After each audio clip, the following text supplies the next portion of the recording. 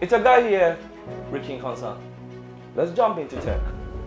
Rumors has it that future iPhones could feature two-way wireless charging and bigger batteries.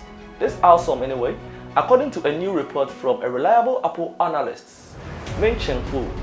The next generational iPhone could likely feature two-way wireless charging. In a simple words, this feature will let you charge other devices using your phone. Now, Apple AirPods 2 come with a wireless charging case and the chances are Apple will also showcase the new case sitting on top of the next iPhone. That is charging your AirPods with your iPhone. But there is a catch here. The battery capacity should be increased to mitigate the impact of this new feature. How would you like the battery capacity of your favorite iPhone be increased to support this new feature? Drop your comments below.